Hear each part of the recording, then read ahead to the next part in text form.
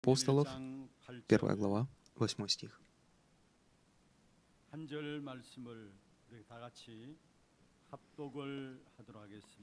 Вместе прочитаем этот стих. «Но вы примете силу, когда сойдет на вас Дух Святой, и будете мне свидетелями в Иерусалиме и во всей Иудее и Самарии и даже до края земли». Аминь. Давайте благословим друг друга. Наслаждайтесь миром Божьим. Вы благовестник, спасающий эту эпоху.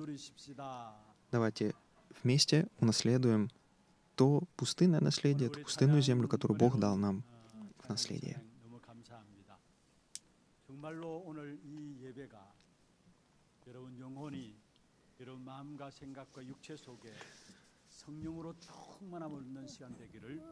Благословляю всех нас, чтобы это богослужение стало временем, когда мы наполнимся Духом Святым совершенным образом, чтобы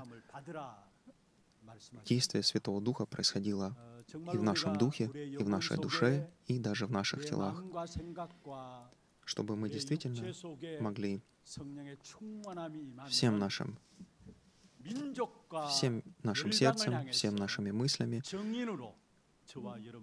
всей душою славить Господа, и чтобы это действие Божье происходило и в наших жизнях, и в жизнях всех людей, всех народов до края земли. И тема сегодняшнего слова является «Давайте начнем снова» с действия Святого Духа. Поэтому нам с вами важно э, начать снова делать все действительно действием Святого Духа, не своими силами. На прошлой неделе э, пастор из э, нашей церкви, который занимается служением с э, студентами, и также э, два студента, из э, нашей церкви, они вместе э, и с другой командой, э, с другими студентами поехали в Лаос. Э, лидер, для студентов, лидеров, для проповедования. И э, в пятницу, вернувшись, мы уже в субботу слушали, э, встретились с ним и слушали форум его, то, то какую благодать он получил, то, что он увидел на этих местах действия. И что он сказал, что, а, конечно, наши усилия, усердная работа, когда мы э, действительно стараемся сделать все хорошо, это важно, это нужно. Но если мы не будем получать водительство Духа Святого, если мы не будем действовать в расписании Божьем, не будем получать мудрость и благословение встреч, то мы не сможем выявить, не сможем найти, выявить тех учеников, которых Бог по-настоящему приготовил на этих местах действия. Поэтому это, конечно же, важно, когда мы делаем хорошо, что-то хорошее и усердно над чем-то работаем, это важно, это, конечно же, нужно делать.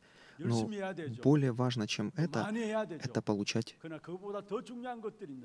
Важно больше всего это получать водительство Духа Святого, потому что мы с вами всегда находимся в духовной битве, в духовном сражении — Потому что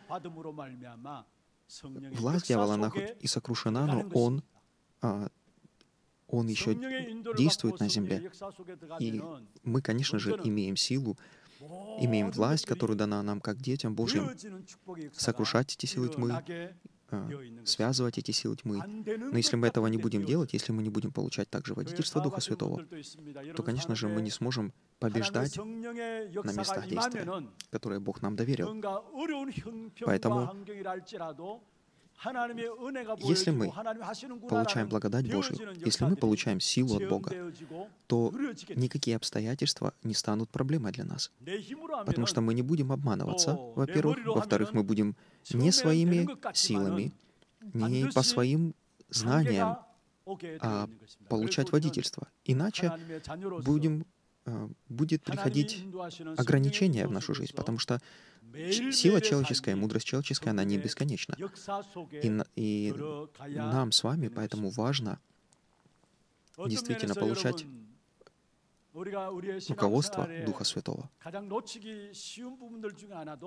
И есть то, что есть то, что часто мы упускаем с вами казалось бы, незначительное, но это то, что действительно может влиять, влиять на нашу жизнь. Это то, что в нашей, в нашей жизни веры мы упускаем, упускаем водительство Духа Святого потому что иногда слушаем свои мысли, иногда слушаем а, слова людей, иногда а, прислушиваемся к а, тому, что в мире люди говорят и происходит. Поэтому также важно, чтобы мы не просто в одиночку что-то а, принимали решение, в одиночку. Казалось бы, мы молимся, общаемся с Богом, но нам важно также, как место из Писания, Матфея 18 глава 20 стих говорит, что где двое или трое собраны во имя Мое, там и я среди них, чтобы мы имели общение верующих, общение в Духе Святом. Тогда, когда мы вместе собираемся, Дух Святой может Потому что мы иногда можем не слышать или не распознавать голос Духа Святого внутри нас. Поэтому важно, общаясь вместе, получать водительство Духа Святого. И Бог, как вот в Луки 11 глава 9 стих, сказано, если, если вы будете искать, то найдете, если будете стучать, то вам отворят, и будете просить, и дано будет вам. И если даже вы, будучи злы, умеете давать деяния добрые детям вашим, то тем более Бог даст вам Духа Святого. Поэтому э, это там, место Писания, оно в, в, в двух Евангелиях описано, и оба это, эти места из Писания, они это именно открывают что, как вот э, Лук 1, э, Луки 11, глава 13 стих, а именно о том говорят, что «разве не даст Бог, Отец наш Небесный, Духа Святого тем, кто просит Его?» Поэтому, что наше самое важное, самое главное темой молитвы в нашей жизни, в, жи в нашей семье, в наших, э, на, на тех местах действия, мы, где мы находимся, на местах работы, местах учебы, это всегда просить о наполнении Духом Святым, о руководстве Духа Святого. Просить о том, чтобы Бог дал нам силу, и мы силой Духа Святого могли жить, могли э, принимать решения, могли рассуждать, внутри, во Христе все это делать. Тогда мы сможем получать, мы тогда сможем видеть правильным взглядом. Правильным, то есть тем, которым, как Бог смотрит на эту ситуацию. Вот это будет правильный взгляд. И тогда мы можем увидеть в проблеме ответ. Мы сможем увидеть и не, на, мы не будем обманываться, когда мы будем смотреть. Если мы смотрим только физическими глазами, то э, для нас тогда и проблема — это не проблема для нас. И когда нет проблемы, это тоже хорошо. И если успех, казалось бы, на видимом уровне физическом, это тоже хорошо. Если нет успеха, тоже хорошо, потому что если это... Это просто как путь, которым, который мы проходим, и иногда Иногда мы, может быть, что-то не так делаем. Мы поэтому случается что-то. Иногда это еще не расписание, поэтому что-то не получается до какого-то времени. Иногда Бог хочет, чтобы мы двигались в другом направлении. И, как мы видим, и Павел также были закрыты а, двери в Азию, ему и, а, Азию, и тогда открылись двери в Македонию. Почему? Потому что там Бог приготовил в это время людей, которых приготовлено сердце, которые нуждаются в этот момент сейчас именно в Евангелии. То есть Божье действие там было приготовлено. И если мы посмотрим с вами 39 глава 2 стих Бытия, что там сказано, что Бог был, ибо Бог был с Иосифом, и Поэтому он преуспевал, он был успешным человеком, он преуспевал во всех, во всех делах, во всем, что он делал. Поэтому все, что не происходило с ним, даже посмотрите, он же пошел, попал, во-первых, в рабство, да, и потом попал еще в тюрьму. Но разве он отчаялся? Нет, потому что он точно знал, что Бог с ним, он доверял Богу, и где бы он ни оказывался, в рабстве был, он там становился успешным, и фараон, да, не фараон, тогда еще Патифар, видел, видел, что он, э, что Бог пребывает вместе с ним. Поэтому получается что-то хорошо. Не получается ничего страшного. Если нам не, не нужно, нам не нужно, когда обычно у нас что-то, чуть-чуть даже что-то не получается, какая-то маленькая проблема даже приходит, мы сразу же теряем силы, сразу же неверие приходит, сразу же сомневаться начинаем. Может быть, это так, может быть, действительно, правильно ли я верю, в правильного ли Бога я верю, кто-то даже так. Но вот это то, что дьявол желает, чтобы у нас было неверие в Бога, и чтобы мы были, у нас появилось противление даже Богу. Но посмотрите в отношении, а, если мы будем получать водительство Духа Святого, то мы действительно, Бог будет давать нам все, что необходимо. Во-первых, Бог не будет нам давать допускать, чтобы мы были в каких-то проблемах, которые сверх нашей силы. Но в то же время Бог, как вот Павел писал в 13 стихе, что я научился, я все могу в укрепляющем меня Иисусе Христе. И в 12 стихе, и он говорит о чем? Что он научился быть и быть и в, и в достатке, и в бедности, и в, когда есть успех, и когда терпит неудачу, в любой, в любой ситуации, в любом состоянии Павел имел силу превосходить это все и не быть, не поддаваться влиянию хорошее что-то или нехорошее с точки зрения э, физического, материального даже. Даже Давид, мы смотрим Псалом 22, первый стих, он что говорит? «Господь, пастырь мой, и я ни в чем не буду нуждаться». Когда это он писал? Когда он уже царствовал, когда он уже действительно ни в чем не нуждался? Нет. Он это писал, когда был преследован, когда за ним гнались, искали, чтобы его убить. И в это время он такое исповедание дал, потому что он знал, что Бог вместе с ним, что Господь пастырь его.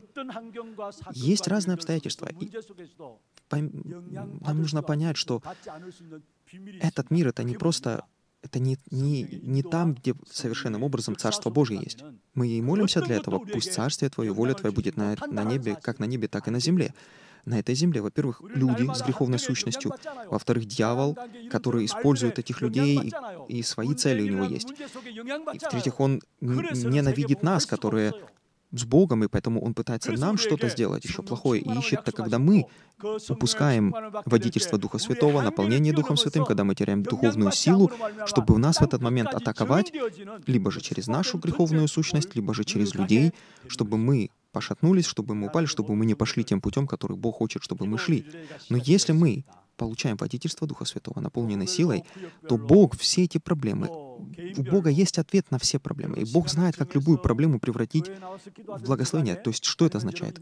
Чтобы это послужило Царству Божьему. В чем смысле? В каком смысле? Чтобы это послужило тому, чтобы люди могли узнать о Боге уверовать в Иисуса Христа. Поэтому я благословляю вас, чтобы все, чтобы все мы наслаждались этим благословением, чтобы действие Божье происходило в нас, внутри нас, в наших семьях, чтобы люди мира этого могли, смотря на нас, как на Иосифа, когда смотрел Патифар и э, начальник тюрьмы, и даже и фараон, видели, что Бог пребывает вместе с нами. Поэтому важно, чтобы мы не поддавались обману дьявола, не теряли веру в Бога и не противились Богу и Божьему желанию, но искали получать водительство Духа Святого.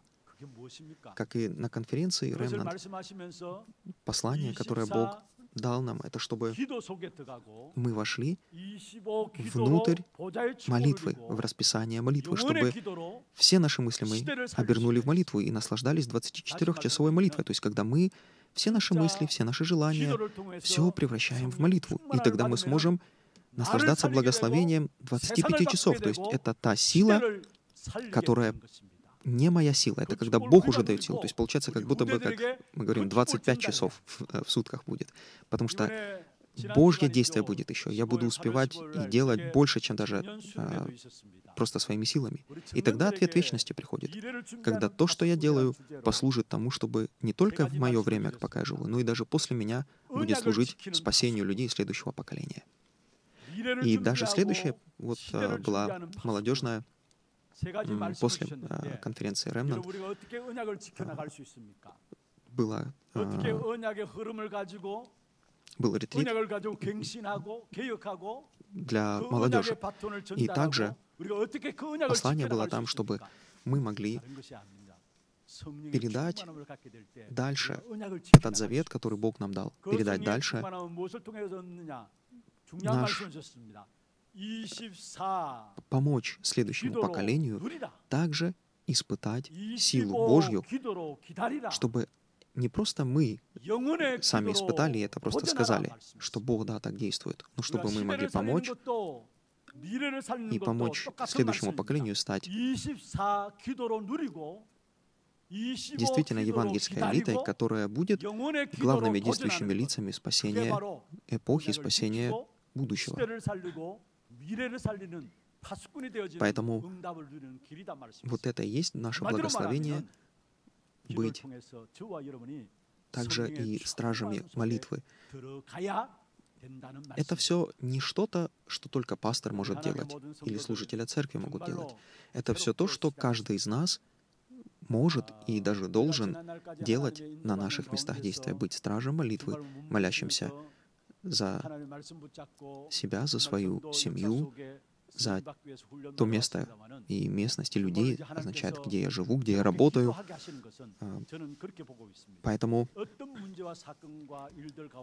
если мы будем таким образом, сделаем как привычку, таким образом жить, действительно в молитве, жить в молитве, чтобы наши мысли были не просто мои мысли, а чтобы это было общением с Богом, чтобы я направлял не просто э, радовался или не просто грустил, или не просто возмущался чему-то там, что что, почему так, почему это не так, а спрашивал у Бога, Бог, почему это так или почему это не так.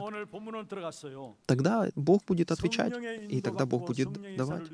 Бог ждет, когда мы, Бог ждет, когда мы будем общаться с Ним, когда мы будем не просто даже говорить, а и также желать слышать от Него. Поэтому нам важно с вами вот, вот эту всю работу выполняет Дух Святой. Поэтому нам важно знать, какой личностью является Дух Святой и что такое работа Духа Святого. Поэтому первое, что мы будем смотреть, это тот, Дух Святой — это тот, кто превращает благодать действительно в благодать. И 1 Коринфянам, 2 глава, 12 стих сказано, что «Но мы приняли не Духа мира сего, а Духа от Бога, чтобы знать нам дарованное от Бога». Вот Дух Святой, Он действительно делает так, чтобы благодать действительно стала благодатью, чтобы мы не просто знали что-то, чтобы мы могли наслаждаться, наслаждаться всем тем, что Бог нам дал, и всем тем, что Бог нам доверил. Потому что это то, что Бог изначально, каким образом Бог изначально нас сотворил. Чтобы мы жили не в страхе, но мы жили в радости, чтобы мы могли наслаждаться силой, которую Бог дал.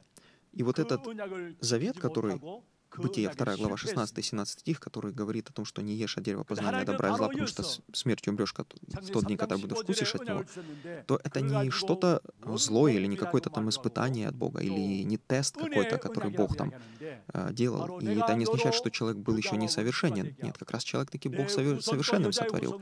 С, также с свободной волей. И это не, никакое испытание, это, это то, в этом завете заключается смысл и заключается понимание того, каким образом человек может быть живым и душою живую, и что только пока Бог Духом Святым пребывает внутри человека, человек является действительно образом Божьим. А что значит образом Божьим? Это означает, что мы можем отображать сущность Бога, что внутри нас является, что мы являемся, по сути, мы имеем одно сердце с Богом. И это опять-таки о чем говорит? О любви, о радости, о долготерпении, о благости, об вот этих всех плодах Духа Святого. Но дьявол, он обманул нас, обманул человека, поэтому люди упустили и уже не являются образом Божьим. И этот образ Божий должен восстановиться и может восстановиться не усилиями человека, а только через Иисуса Христа. И тогда Бог именно и дал этот завет, Бытие 3 глава 15 стих, о семени жены, то есть о Мессии, который придет, не будет потомком Адама, то есть не будет иметь первородного греха. Поэтому Христос — это и есть Бог, который пришел во плоти, совершенный человек и совершенный 100% человек и 100% Бог. И вот, вот это тот завет, за который держались все люди Ветхого Завета, а в ожидании Мессии. И это то, за что мы держимся сейчас. Поэтому давайте с вами провозгласим, что я человек, живущий по благодати и в благодати Божьей. Потому что спасение — это не моя, мои усилия, это не мои какие-то особенности, это не я какой-то такой хороший или особенный. Это благодать Божья, данная мне, вера, которую Бог дал мне уверовать, и благодать, данная мне исповедовать Иисуса Христом, и благодать, данная мне передавать это слово, эту благодать, эту любовь Божью, это послание, радостную весть всем остальным людям. Поэтому для Ноя также, посмотрите, Бытие 6 глава 8 стих. Ной также Ной, что, что сказано там? Ной обрел благодать в глазах Божьих. Поэтому я благословляю, чтобы все мы также могли находиться внутри этой благодати, чтобы все мы наслаждались этой благодатью, которую Бог дает. Поэтому именно Дух Святой, Он сообщил Ною, дал понимание Ною о том желании Божьем, в отношении ковчега, в отношении того, как ему спастись и спасти тех людей, которые Бог доверил ему. И даже когда мы смотрим в отношении исхода, то каким образом исход получился? Усилиями человека, усилиями э, израильского народа или Моисея, или даже какими-то чудесами? Нет. Это случилось Каким образом? Когда был прине... была принесена, когда был совершен завет крови, то есть когда кровью Агнца были помазаны косяки дверей. Посмотрите, давайте посмотрим исход 14 глава, 13 стих. Что сказано там? Моисей сказал народу, «Не бойтесь, стойте и увидите спасение Господне, которое Он соделает вам ныне, ибо египтян, которых видите вы ныне, более не увидите вовеки. Господь будет поборать за вас, сражаться за вас, а вы будьте спокойны». То есть Бог, смотрите, Он, те люди, которые поверили в Слово Божье, которые помазали двери свои, э, косяки дверей кровью Агнца, они вышли таким образом, как результат, вышли из Египта, освободились от власти дьявола и от э, власти смерти. И дальше также Бог оставил их и сказал, вот теперь докажите мне, что вы меня любите или еще что-то. Бог вел, и Бог сражался за них. Поэтому наша жизнь веры, Бог не просто нас оставляет, и вы мне что-то показываете или доказываете. Как тогда израильский народ, Бог вел их и столпом облачным, и столпом огненным, и, про... и давал им необходимую пищу, и одежду, и все. Поэтому и в нашей жизни точно так же. Спасение, то, что мы исповедовали Иисуса Христа, это не просто как бы какой-то зачаток, а нам нужно теперь что-то доказывать Богу. Нам нужно доверить свою жизнь в руки Бога, следовать тем путем, который Бог желает. продолжать получать исцеление и преображаться в образ Божий, чтобы люди, смотря на нас, могли видеть, что мы живем по благодати Божьей и благодатью Божьей. Божьей. И сегодня также перед служением мы прославляли Господа и пели хвалу, что все, что есть в моей жизни, это Божья благодать. Это по благодати Божьей. Поэтому мы с вами даже то, что мы с вами пришли на богослужение, также это также сила Божья, это благодать Божья, данная нам, потому что 내가 어떤 문제 가운데 있는 사실을 알면 알수록 정말로 은혜구나, 은혜 아니면 살수 없는 것이구나. Потому что если не благодать Божия в действительности, то и Павел говорил также, и если это не по благодати, то невозможно, чтобы что-то и то и то происходило в нашей жизни. И даже Павел, 1 Коринфянам 15, 15 глава, 10 стих, там Павел также говорит, что «но благодатью Божью я есть то, что я есть, и благодать Его во мне не была тщетна. Но я более всех их потрудился, не я, впрочем, а благодать Божья, которая со мною. Поэтому действительно Бог дает нам благодать и силу если мы приходим, если мы ищем этого, то дает благодать и силу не согрешать, дает благодать и силу преодолевать искушения. Бог никогда не дает искушения сверхсилы, никогда не дает чего-то того, что мы не в силах преодолеть.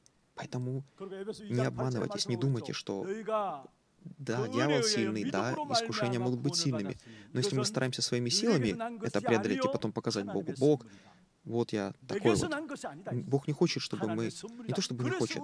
Бог знает, что мы не можем своими силами это все преодолеть, потому что дьявол — это дух, это дух, который сотворен сильным для того, чтобы помогать людям, и он соверш... в своих вот этих вот действиях он всю свою мудрость использует на зло, на то, чтобы, чтобы, сок, чтобы сокрушить человека, чтобы показать Богу, что то, что Бог сказал своим совершенным творением, никакое не совершенное, по его мнению. Но мы можем преодолеть все, если мы будем искать силы Божьей. Поэтому не старайтесь своими силами, не старайтесь своей волей там что-то показать, доказать, и потом хвастаться перед людьми, что вот видите, я там не делаю так, а он делает кто-то. Если даже и хвалюсь я чем-то, то хвалюсь благодатью Божьей, что Бог дал, дает силу и благодать. Поэтому давайте не будем не гордиться, не обманываться, будем получать водительство Духа Святого, будем бросать вызов тому, что не получается, и всегда, если не получилось, еще раз э, вставать, еще раз. Бог, Он, сколько мы раз упадем, столько Он раз поднимет, если мы действительно ищем Его, если мы действительно в сердце своем желаем быть вместе с Ним, если мы желаем слушать голос, голос Господа и желаем быть там, где Бог, куда нас посылает, и желаем быть стражами молитвы, теми людьми, через которых Бог будет действовать. Поэтому, поэтому также сказано, что, что сказал Иисус, что тех, которых Бог довел мне из руки, из руки Божьей, никто, никто не может похитить. И также, посмотрите, в Коринфянам 12 глава 3 стих. Почему важен Дух Святой нам? Потому что если не Духом Святым, то никто не может исповедовать Иисуса Господом, как только Духом Святым.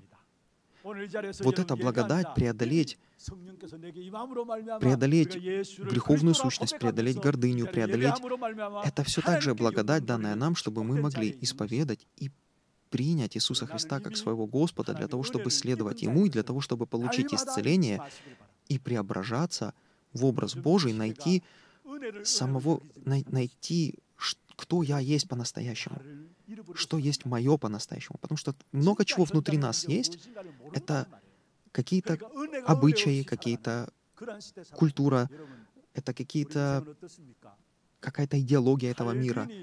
Это много-много-много чего, что мы думаем, это мое, это я такой, но по-настоящему это не мое, и это не я такой. Поэтому нам важно с вами, важно действительно вну, внутри Христа, в Духе Святом, обновляться. И даже, Павел, даже Кальвин, когда он писал, э, что он описывал, он сказал, что человек совершенным образом грехопадший, и нет никакой, никакой возможности для человека своими силами восстановиться. Поэтому Бог безусловной, Бог безусловной любовью избрал, Он безусловно любовью дал, дает спасение свое. Не, не потому, что вот, вот этот человек вот такой вот, что-то он хорошо делает, этот чуть-чуть не так хорошо делает, поэтому этому я дам, этому я не дам спасения. Нет. Благодать Божья, она и спасение, любовь Божья, она безусловно. То есть нет условий каких-то. Поэтому не обманывайтесь этим тоже.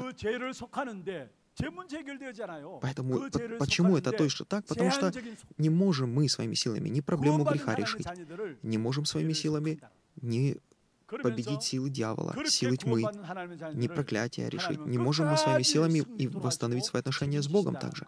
Вот поэтому, поэтому вот и есть это действие такое Божье, благодать Божья. Поэтому что что важно нам, а, чем важно нам наслаждаться, это вот этой благодатью Божьей. И также есть люди, которых Бог, из всех людей есть также люди, которых Бог призвал на служение себе. Бог желает, чтобы все спаслись и достигли познания истины. Это естественно. Но есть также люди, которых Бог избрал, как вот Павел, которого Бог избрал быть апостолом язычников. То есть есть люди, которых Бог каждую эпоху избрал, и для них есть также непреодолимая благодать и непреодолимое Божье избрание. То есть этот человек не может не, не, может не уверовать, он все Бог сделает так, чтобы этот человек услышал Слово, уверовал, потому что у Бога есть миссия, которую Бог желает доверить этому человеку, чтобы через него совершить. Поэтому я верю, чтобы, что все мы, кто находимся вместе сейчас, слушаем Слово, мы есть те люди, которых Бог, которые спасены по безусловной благодати Божьей, любви Божьей. И мы также те, которых Бог избрал для служения, для того, чтобы не все пастора, не все, не все учителя, у всех своя есть миссия. Поэтому давайте наслаждаться этой благодатью. И каким образом? Через Христа. Потому что таким образом чтобы в нашей жизни Христос действительно стал Христом, и Евангелие стало Евангелием. Что есть Евангелие? Евангелие — это и есть Иисус является Христом. То, что Петр исповедал. «Ты, Христос, Сын Бога Живого». И что сказал ему тогда Иисус? Не своим умом это ты достиг этого и понял, это, это открыл тебе Бог. То есть это тоже по благодати тебе дано. И вот кто есть Христос? Христос, Он есть истинный царь, который сокрушает, который имеет власть сокрушить дела дьявола и пришел для этого, который есть истинный священник, который единожды на кресте принес кровь свою, пролил, пролил свою кровь и вошел во святое святых, и своей кровью приобрел вечное искупление. Поэтому и сказал он, Евангелие от Иоанна 19.30, что записано? Что сказал Иисус, когда он был уже распят? Совершилось, он сказал. И он преклонил, и преклонил голову свою и отдал дух.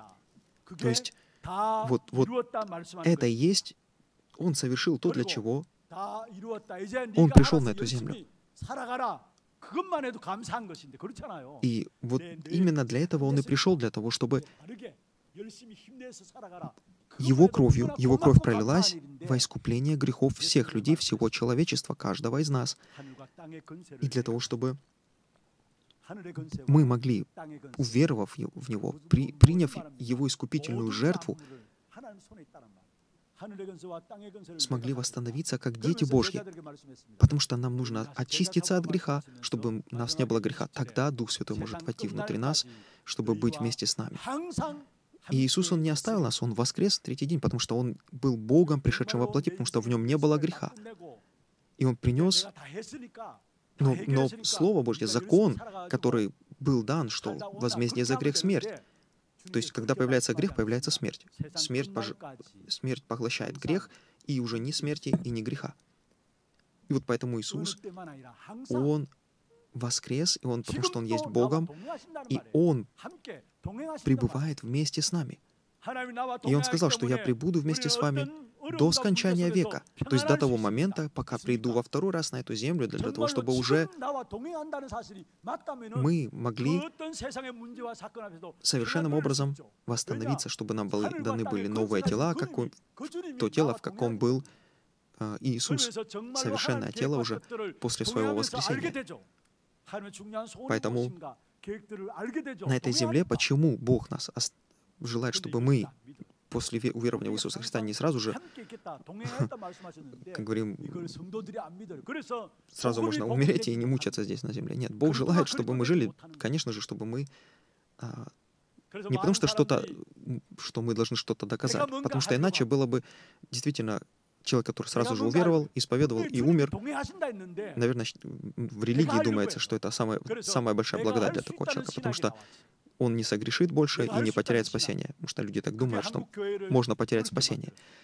Потеря, потеря спасения — это как бы, можно сказать, теоретически возможно только когда человек отказывается от Бога и сознательно принимает решение служить дьяволу, то есть следовать, следовать греху, следовать злу.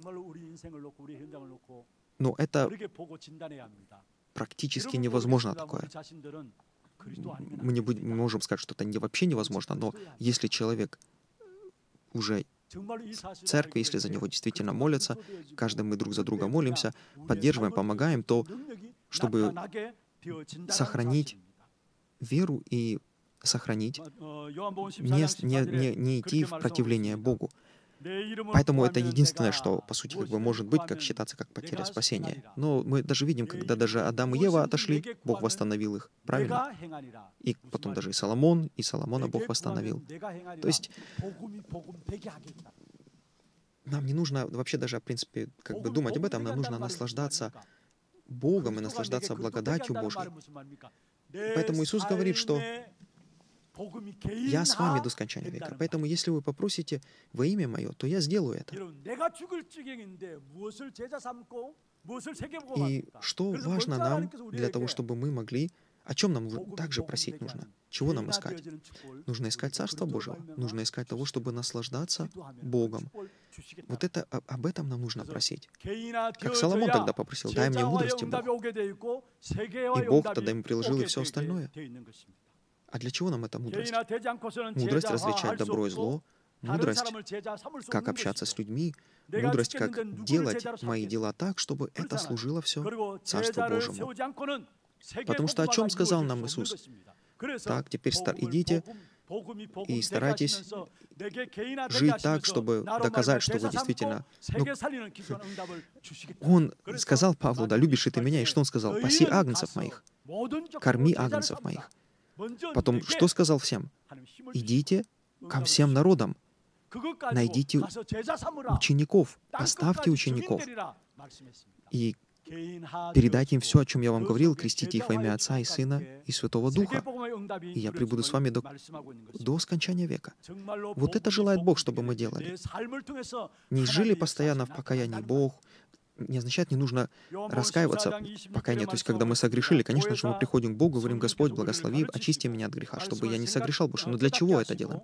Чтобы не притыкались люди, которые на меня смотрят. Чтобы я мог дальше прославлять Бога своей жизнью. Поэтому Бог желает, чтобы мы не на грех фокусировались, а на благодать Божью фокусировались, на любовь Божью фокусировались. Тогда мы можем иметь силу победить грех, потому что мы не о грехе будем думать и о проблемах, а мы будем о благодати и о делах Божьих думать. И наши мысли будут заняты делами Божьими. Поэтому вот, вот этим давайте наслаждаться. И Дух Святой для этого и пребывает с нами, чтобы наполнять нас, чтобы напоминать нам, чтобы открывать нам понимание того слова, которое мы принимаем. И поэтому и первая глава Деяния, 8 стих, и сказано, что когда мы будем наполнены Духом Святым, мы примем силу и будем свидетелями Божьими до края земли. Вот что Бог хочет, чтобы мы были свидетелями Его, свидетелями совершения Слова Его, свидетелями того, как Бог действует на, моих, на, те, на тех местах действия, которых Он мне доверил, действует силой своей ангелы работают на этих местах действия, чтобы я мог видеть, как Бог действительно по молитве, когда я молюсь за людей, когда я молюсь за эти местах действия, как Бог действует на этих местах действия. Когда я могу наслаждаться духовной силой, когда я могу наслаждаться интеллектуальной силой, мудростью, когда я могу наслаждаться физической силой и здоровьем, когда даже экономическое благословение и сила приходит в мою жизнь, потому что я нахожусь внутри этого течения и расписания Божьего. И когда я встречаю также тех людей, с которыми вместе я могу совершать и делать дела Божьи. Вот это все эти, та сила, пять сил, которые, можно сказать, как бы их выразить, как пять сил, которые мы можем, которые Бог дает и которые Бог желает, чтобы мы наслаждались ними. И Бог желает, чтобы мы стали свидетелями вот этого всего. То, что Бог дает силой, и силой Божьей мы делаем, и что Бог готовит благословение встреч, что Бог приготовил скрытую экономику света, скрытое благословение, когда мы смотрим, и мы это видим тогда, когда мы смотрим глазами через призму Евангелия, через глаза Евангелия. Когда мы смотрим, то есть о чем? Ищем чего? Ищем Царство Божьего. Когда мы ищем Царство Божьего, тогда мы сможем увидеть те благословения, те возможности, видеть тех людей, которых Бог приготовил, чтобы услышать Слово Божье и чтобы вместе с нами проповедовать это Слово, передавать это до края земли. Поэтому давайте обновляться в Духе Святом, чтобы не мои стандарты, не мои мысли, не мой опыт, потому что ни, ничто из этого не является действительно совершенным или абсолютным. Поэтому Почему? Почему так? Потому что наши мысли, наш опыт — это все является из, исходящим из Бытия 3 главы 5 стиха когда что сказал дьявол? Что станете, станете как боги. И вот эта проблема бытия третьей главы, это то является опытом в действительности познания добра и зла. Тот опыт, который мы с вами имеем. Поэтому нам важно наслаждаться тем, что мы являемся уже во Христе новыми творениями. Чтобы мы... Как, почему Павел пишет Галатам 2.20 «Уже не я живу, но Христос во мне»? Это не означает, что я отказываюсь... Ну, как бы, это не то, тот концепт как буддизма, то есть полностью отречь, отрекаться от себя, перестать жить вообще, перестать существовать вообще как существо, как человек. Не этого Бог желает. Бог желает, чтобы пока мы живем на этой земле, пока у нас есть греховная сущность, пока у нас есть миссия спасения людей на этой земле, чтобы мы не своими мыслями, стандартами и опытом руководствовались, а получали водительство Духа Святого. Вот это означает «не я живу, но живет Христос во мне», чтобы 24 часовой молитвой мы наслаждались. Поэтому Бытие также 3 глава 6 стих, когда что Ева после того, дьявол ей сказал, она увидела. Она, ей показалось, что это дерево хорошо для пищи, приятно для глаз, и оно вожделенно, плод этого дерева вожделенен, потому что дает ей мудрость какую-то и какие-то знания. Вот, вот это что происходит, когда мы упускаем водительство Божье, мы тогда смотрим на этот мир физическими глазами, и мы не видим духовную реальность, мы не видим духовный фон, который стоит за какими-то философиями, религиями, словами людей, действиями или чем, чтобы, чтобы, чтобы это не было. А это все, если это не от Бога, если не, не во Христе это все, то это может казаться сладким и хорошим, но это то, что в итоге будет ядом, и то, что приведет в итоге к разрушению и к смерти. Поэтому среди неверия, тревог, среди любых обстоятельств не надейтесь ни на что другое.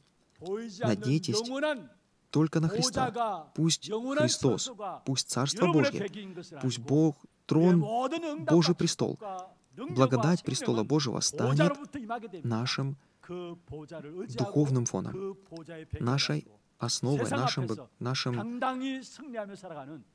как бэкграундом, то есть это есть как бы такой, ну, фон, бэкграунд немножко похож, но это пусть будет так уже. Поэтому давайте наслаждаться тем, что мы являемся дети Божьи, что мы являемся призванными служителями Божьими. И помолимся теми темами молитвы, чтобы мы действительно начали заново внутри благодати Божьей и внутри действия Духа Святого, чтобы действительно мы наслаждались благословением восстановления себя, поиска и восстановления учеников, чтобы не по нашим стандартам, не по нашим мыслям, не по нашему опыту, но чтобы мы все, все наши мысли, все наше превращали в молитву и в молитве получали водительство Духа Святого и наслаждались действием Духа Святого, чтобы мы, чтобы все неверие ушло из наших сердец,